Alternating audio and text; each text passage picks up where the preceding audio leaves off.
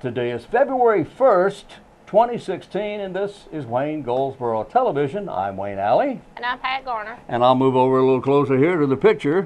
Anyway, this is Wayne Goldsboro Television. I'm, I said that, didn't I? Yes. Okay. Hi, Pat. How are you? I'm doing just fine. Appreciate you being here. Kate is out on assignment. Again. Again.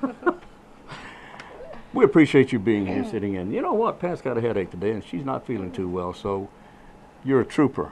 Yes, I am. Thank you for being here. All right, a brand new month. It is February, and this is some of the things, some of the things happening in the month of February. This is Adopt a Rescue Rabbit Month. Woohoo! Go Bugs. Yeah, bunny, that is. Uh, American Heart Month. Bake for Family Fun Month. This is Beat the Heat Month. Beat Right, the heat. Beat month? the heat. Well, you know, it's cold in February. This is the coldest month here in Wayne County, North Carolina. This is also from Africa to Virginia month. I don't make this stuff up. This is real. This is an International Boost Self Esteem Month. Something we can uh-huh. all do and work on. Expect Success Month, Hoof Care Month, Hoof Hoof Care Month. You have hooves in your family. Yeah. Yes, you do. the four-legged kind, right? Yeah. All right.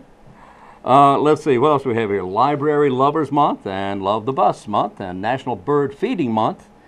This is Black History Month, of course, and we're going to be doing a lot of talking about Black History Month, a lot of things going on. This is National Cherry Month. And anyway, it goes on and on and on. I'll tell you more during the month. This is Hot Breakfast Month, by the way. Well, that sounds good, doesn't it? Yeah. It does, doesn't it? Bring breakfast in the morning. Bring breakfast in the morning, eat breakfast all day. That sounds good. And laugh friendly month. That's just some of the things that we'll be talking about during the month of February. Today is car insurance day. Change your password day. That's always good. You change your password often? Every so often I do. Every so often. You're not giving me any information, are you? No. I was going to peek. Sorry. Okay. It's okay. It's okay. Today is Hula in the Kula Day. I have no idea what that means. I just thought it sounded funny. G.I. Joe Day, Serpent Day, Ayn Rand Day. You remember Ayn Rand, the author? Yes. Uh, Crepe Day. Groundhog Day is tomorrow, by the way. Freedom Day is tomorrow is today. Robinson Crusoe Day is today. Okay, tomorrow is Groundhog Day. That means it's the absolute dead set middle of winter. Yep. The middle of winter is tomorrow. The question is, if the groundhog sees his shadow, we'll have six more weeks of winter. Now, let's do the math. Winter is 13 weeks long. Okay. Tomorrow is winter will be six and a half weeks long, which means there'll be six and a half weeks left. Well, I'm sorry, there's 26 weeks in winter. It's a quarter. 26 weeks in winter, 13 weeks we've had, 13 more we have to go. So if it's 13 more weeks of winter and the groundhog sees his shadow, there'll be 13 more weeks of winter. That's, you know what, that all adds up, doesn't Yeah, it? it Okay, how about this? Amazing. But if he's if he doesn't see his shadow, then win, then spring will come early. It can't come any earlier than March 21st. Who writes this stuff? Sounds like something I would do, doesn't it? Yes. Yeah. Okay. Sorry about that. Create a vacuum day is the fourth. So when we get to the fourth, I'll tell you all about that. Are you an International Space Station fan? No. Okay, we should be. Why? I don't, I don't know. That's all I'd ask. The space station can actually be seen with the naked eye from Earth. Did you know that? As it flies over. Hmm. I'm serious. And I used to, I used in my previous life, I used to occasionally read out a report about when the space station would be flying over Wayne County so that you could see it. Tonight is going to be the very best to see the space station flying over. It's going to be over for a long time. It's flying over Wayne County and it will be there for five minutes, and that's very unusual. Normally they don't last that long. But tonight, five minutes. If you're standing dead in the middle of Goldsboro, in the middle of Goldsboro, and you look toward Fayetteville, you will see it come over the horizon, and it will go almost almost across at about a 50 degree angle, about like that. Okay, about like that, and uh, will exit east northeast. That would be over toward Greenville. Uh, actually, Institute, if you know where that is. in that direction. Okay, so it'll be coming from the south southwest, going to the east east northeast, and it's a great big bright. Looks like a star, or a really really high flying plane, and you might think it is, but it's actually our very own International Space Station, and that's very exciting. People love it to watch that thing. It's it's great. And, oh, the time, that will be tonight at 6:28 p.m. If you're there at 6:30, you will only see the last half of it. But at 6:28 p.m., be standing outside, looking toward down toward Fayetteville, or in that general direction, out toward maybe Clinton. Okay, and you'll see it. Okay. All right, what else we got? Oh, real quick, we go to our break in just a moment. February 6th, Go Wayne Go Downtown Walk will be February 6th, downtown Goldsboro, meeting at the courthouse steps right here. And the walk is for one to three miles, and that will include the new Center Street area and the old railroad station. All right, Go Wayne Go. February 6th, that's uh, this Saturday, I believe, isn't it? Yeah, that is this Saturday. Okay. Boy, we got a week for you. Wait till you see everything we have to talk about and the people we're talking to. All right? Watch this.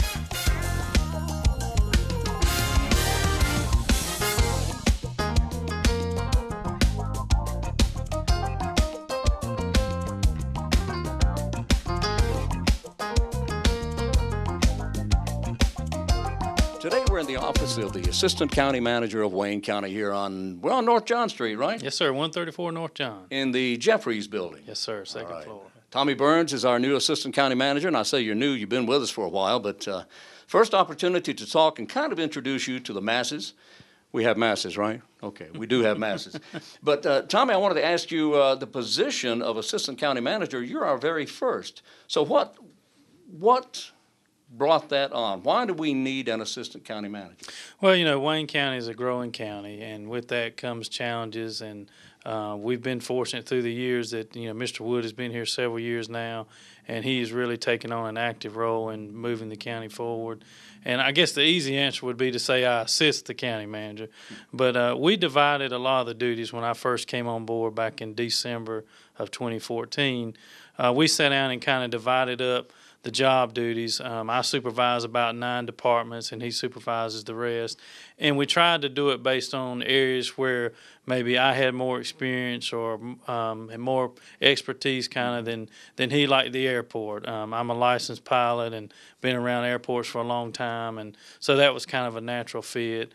Uh, I've got a family that's got an emergency services background, so that was sort of a natural fit for me to work in. And uh, but primarily, you know, I kind of assumed the role uh, of the quote unquote manager for those departments. Those um, they report to me, and um, I help them with their budget preparation, and I'm kind of their liaison to the county manager's office and to the board of commissioners for when they have departmental issues. You said you had nine departments under you. So what sir. what are we have a list here somewhere? Where are all those departments? Uh, well, the, the Department of Social Services, you know, they're governed by their own board. yes. And so I'm assigned as kind of the liaison between the DSS director, the DSS board, and the county manager's office. And same thing for public health. They have their own board that governs their practices. And so the health director and I, we kind of liaison directly with the county manager's office.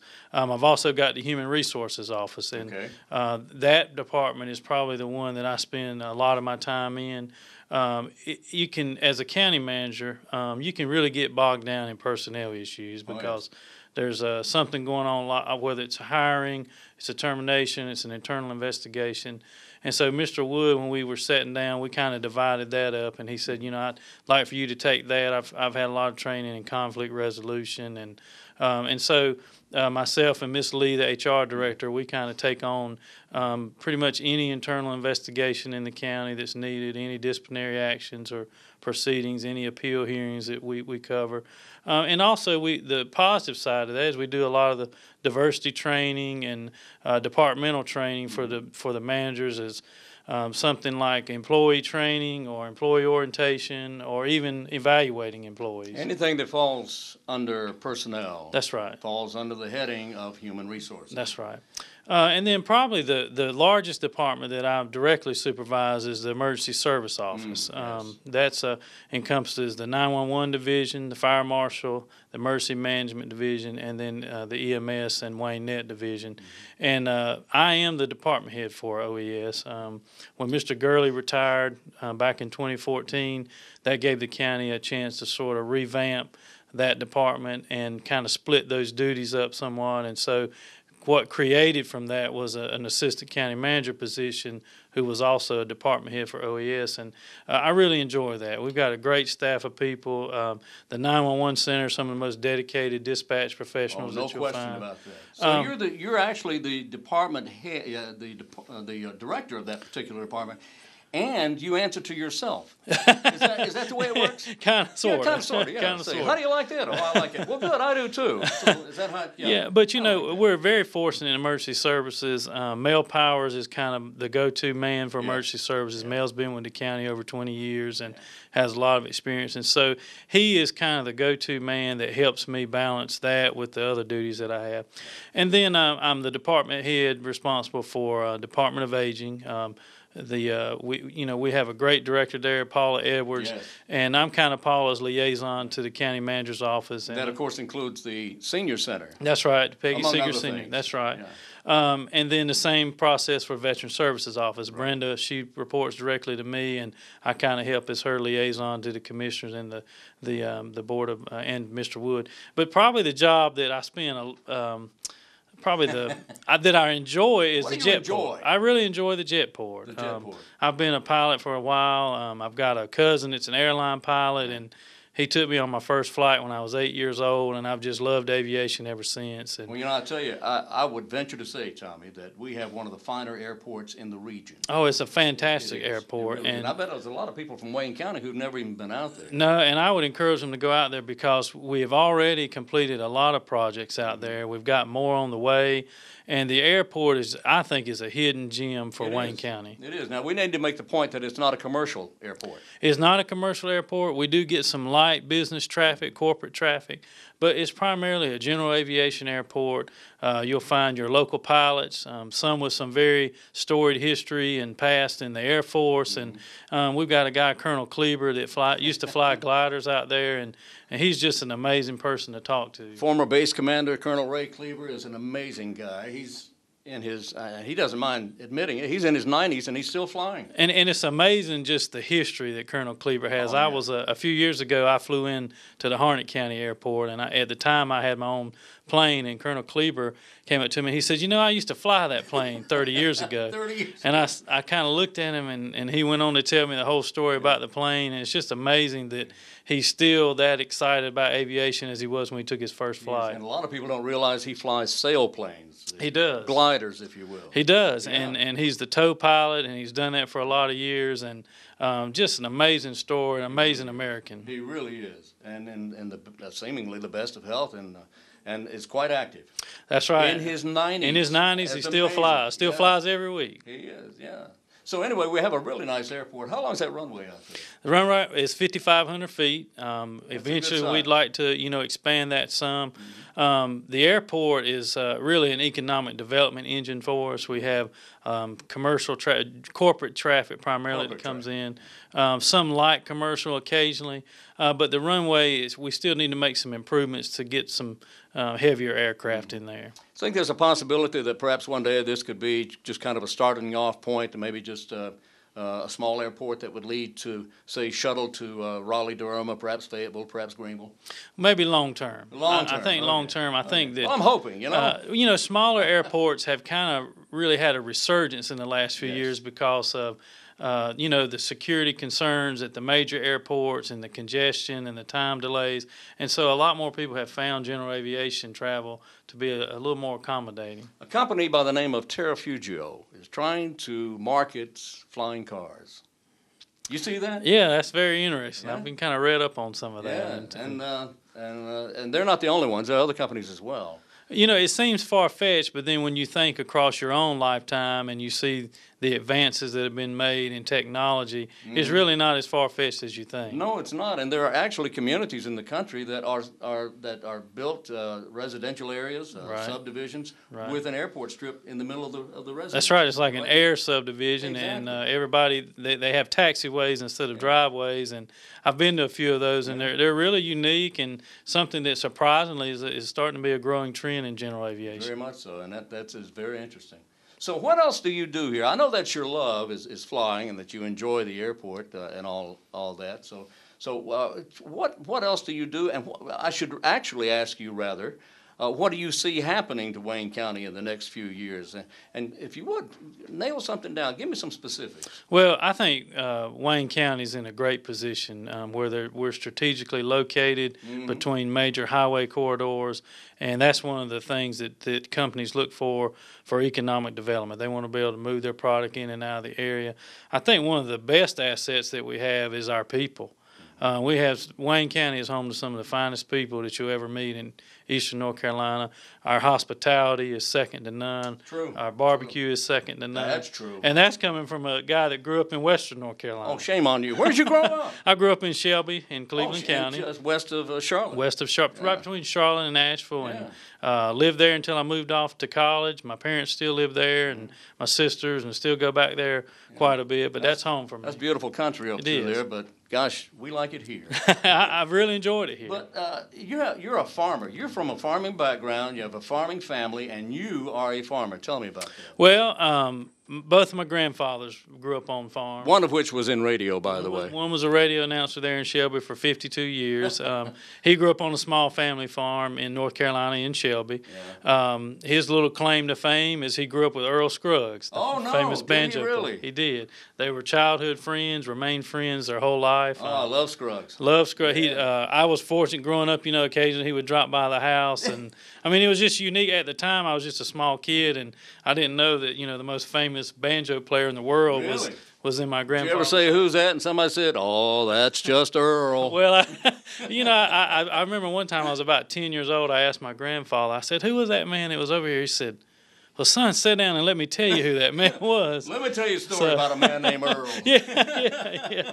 Um, so you know, as far as the farming background, uh, my grandfather Burns grew up on a farm in Alabama, and they moved to North Carolina in the in the forties. He was in the hosiery business, owned a hosiery mill, and uh, but I married into a farming family. Uh, my wife is Smart. from Harnett County. Okay. Um, she's lived there her whole life.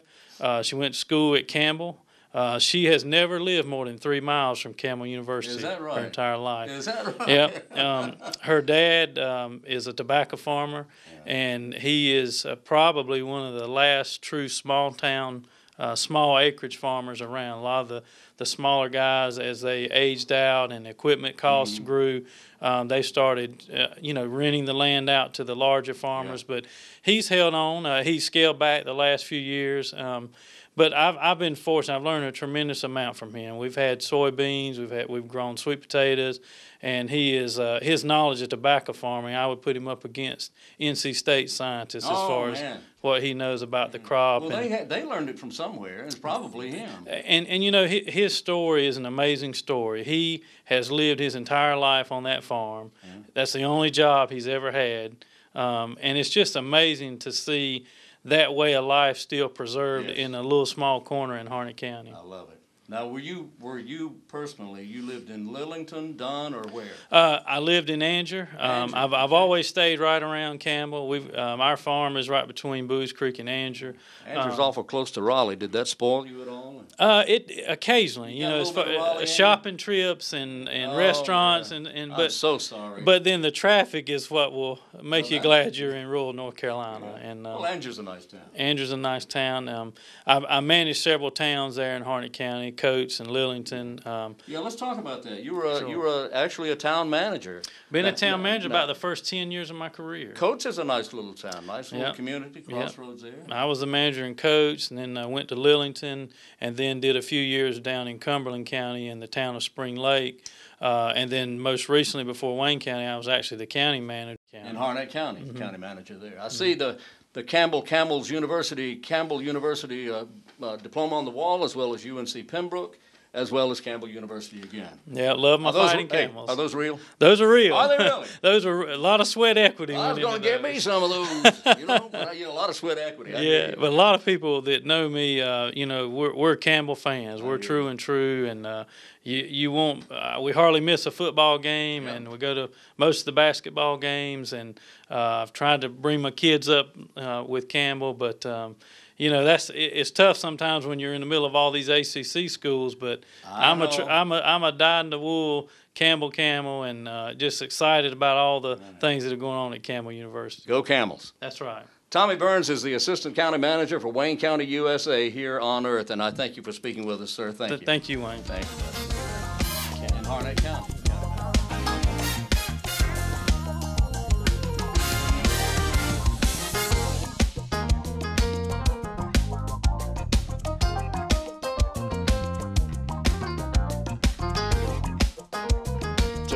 We're Wayne Nets, Wayne Non-Emergency Transport.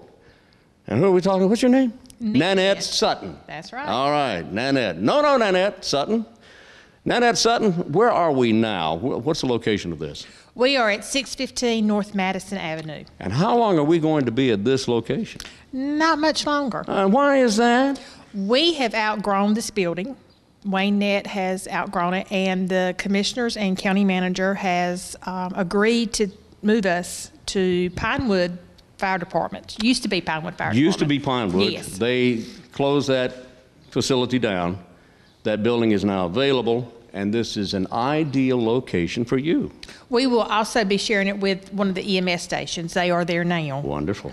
and which we share now with an EMS Mm-hmm. station, but we will be moving it. It's much bigger and a closer facility to the hospital. We see behind us one of the units that's used by Wayne Net, Wayne Non-Emergency Transport, with their new paint job. This paint job's what, about a year old now, this new design? It's about, yeah, maybe one or two years Maybe, old. maybe two years, but, uh, uh, and, and I'm sure people have seen the Wayne net out on the streets and such because you're just everywhere and you're running all the time. But how many people think this is actually an ambulance being used to transport accident victims? Now, it's not for that, is it? It is not. We do back up. You do the back up, EMS, but yes. our primary job is to carry non-emergency to the hospital, to doctor's appointments. Um, when I say to the hospital for tests or whatever they Mm-hmm. have to have done, and we also carry from our hospital to other surrounding hospitals if they are being transported out.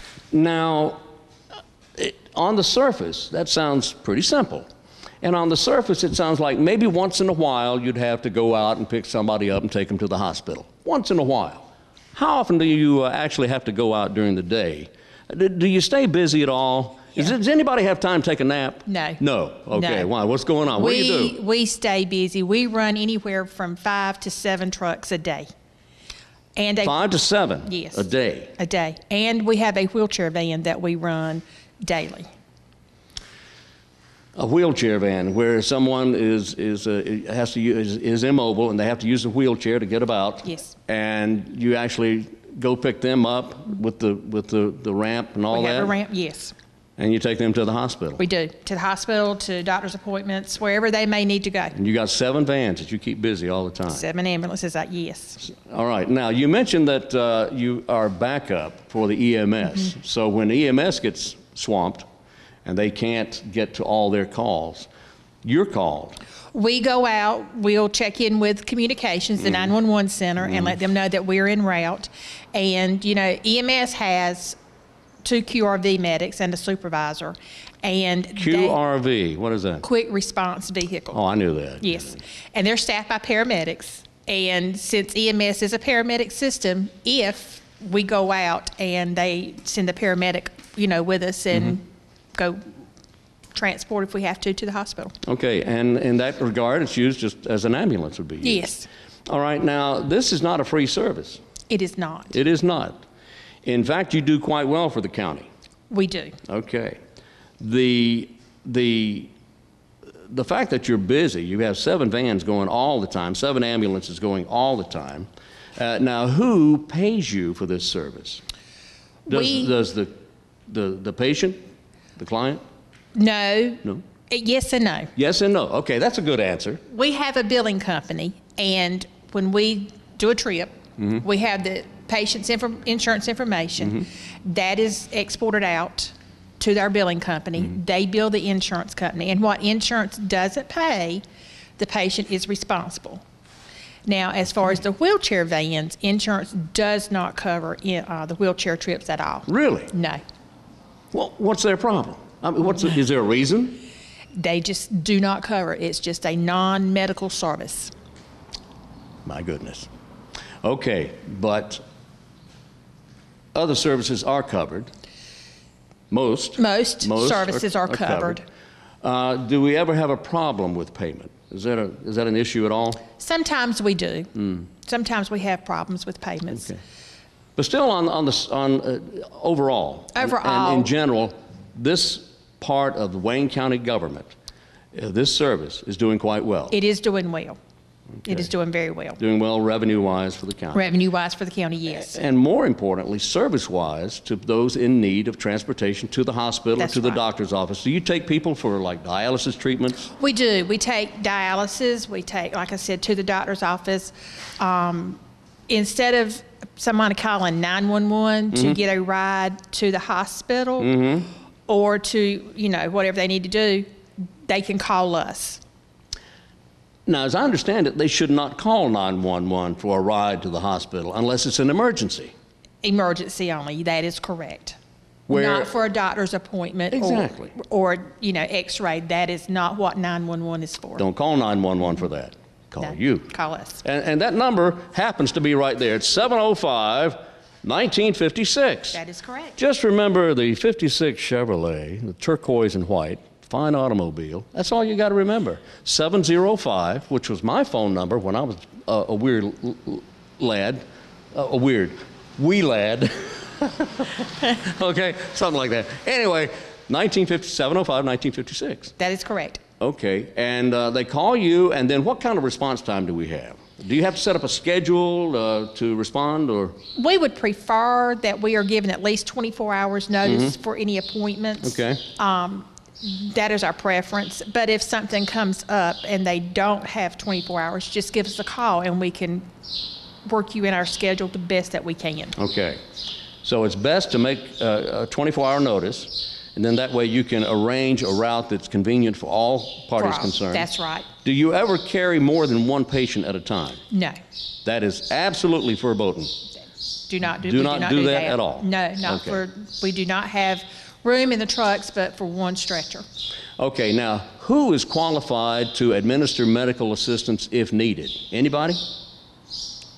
I- I- I- let's say if someone all of a sudden has a little problem within the truck, the patient, is there someone on board? Yes, we have EMT basics. Okay. And if it is beyond their scope of practice, Mm-hmm. we just pick up the radio and we call for the nearest paramedic truck to come to us Mm-hmm. Okay. at that time. All right, and there's always one nearby, There's seems. always one. We have nine staffed in the county and, like I said, three QRV medics.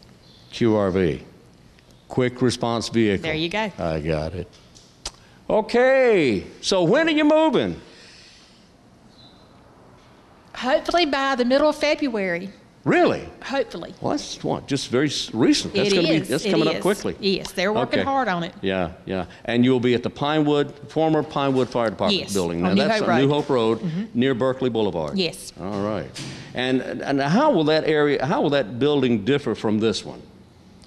It's just bigger, Mm-hmm. and we have, you know, kitchen access Mm-hmm. and bigger meeting room and office space to put computers so Mm-hmm. we can get the reports put in and get them done quicker. Quicker.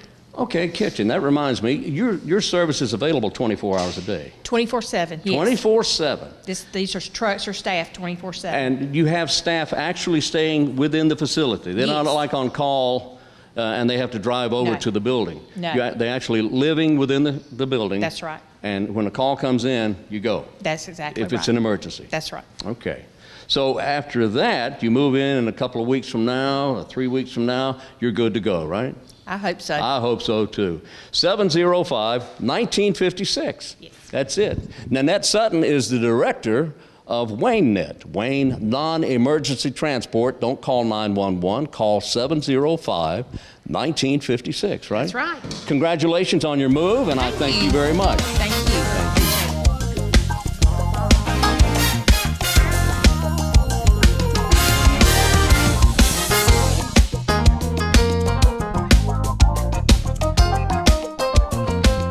Are back on Wayne Goldsboro Television. Thanks for being with us. I'm Wayne Alley. She's Pat Garner. Pat's a little under the weather today, so thank you for doing this, Pat. I appreciate you sitting You're in. for- welcome. Kate is on assignment. She'll be back when she's through with her assignment. we have our trivia question for you today. I'll give you the question, and you think about it, and then answer the answer. I'll give it to you in just a little while, okay? But now today is one that if you're a history buff, you can answer this one before I even ask it. And that's a good trick. Mm. If you're not a history buff, I bet you still know the answer. I bet you still know the answer to this, whether you are a history buff or not. How many stars were sewn on the original U.S. flag back in 1770 something? It wasn't 76, okay? It wasn't. It was done after that. But in the, in the, in the late 1700s, there was a flag created for our brand new nation. How many, there was stars and stripes. And how many stars were actually sewn onto, I'll give you a hint. The stripes, there were 13. How many stars were there? Now, history to some dictates that Betsy Ross was the, was the sewer of that flag. And her family says, yeah, she was the one who did it. We're famous. We've got tons of history in our family. But there are also a lot of people who say, no, she, she just didn't do it. She was a seamstress at the time in the city, but she just didn't do it. So, anyway, whomever you may believe, hey, there you go. But uh, the fact is, there was a flag made, had 13 stripes. How many stars were on that flag? University of Mount Olive. They got a lot coming up, don't they? University of Mount Olive is the happeningest, happeningest place because they have they do have a lot coming up. They have uh, concerts, they've got music, they've got all kinds of entertainment coming up, and this stuff is free. Doesn't cost anything. The University of Mount Olive holding a concert featuring renowned pianist uh, Terry Correa, and that will be the 24th of February at 7:30 in the Hazel Waters Kornegay Kornegay Assembly Hall. And that's at the at the end of Wooten Street. It dead ends right into it. You, if you're going from Goldsboro, you head right on down Breazeale Avenue and then hang a right right there at the traffic light uh, on Wooten Street. Is there a traffic light? Yeah. Anyway, it's the Wooten Street, and uh, uh, uh, Correa is from uh, from Durham and and, is- and an extremely accomplished pianist. Also at the University of Mount Olive, they've got a hymn festival. So anybody who is really into gospel music and hymnals, uh, uh, there's going to be a festival set for February 18th, and that is this month. At the at also at the uh, Kornegay Assembly Hall, Wooten Street in Mount Olive. Is, and these events are free; it doesn't cost anything. The festival pro- provides an opportunity for students and faculty and staff and everybody to listen to the UMO choirs and sing along with your favorite church hymns. Yes.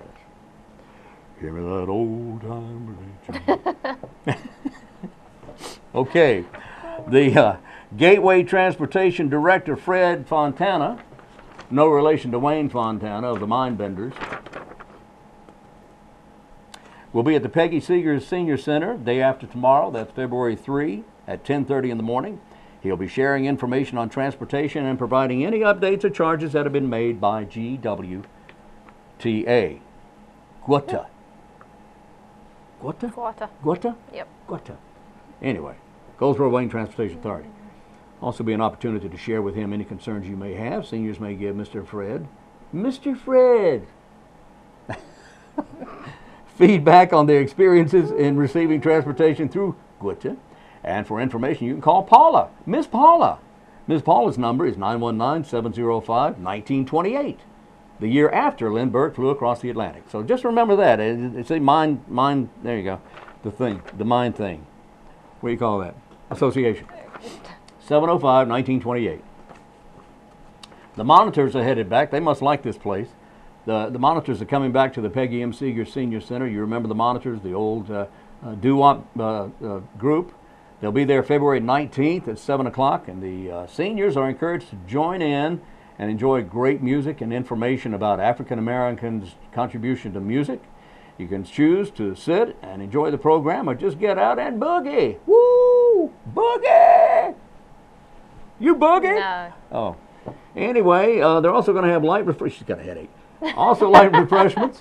The event is free and sponsored by the Wayne County Arts Council. Funds for the project were supplied by the Arts Council Wayne County Grassroots Subgrant Program. Subgrant Program. For information, call Ms. Paula, and her number is 919 705, the year after Lindbergh flew across the Atlantic. 1928. Okay, okay, mind association. There you go. Whose number? Paula Edwards, Ms. Paula, It's what? 705 1928. No, No? no. What's her number? Have you got them wrong? Whose number is what? Her number is 1728.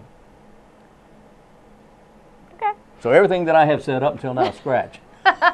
Just forget it. It never happened. 705 1728, I think. 1785. I'll tell you what. Call the senior center and What's ask for the number? number. What's that number?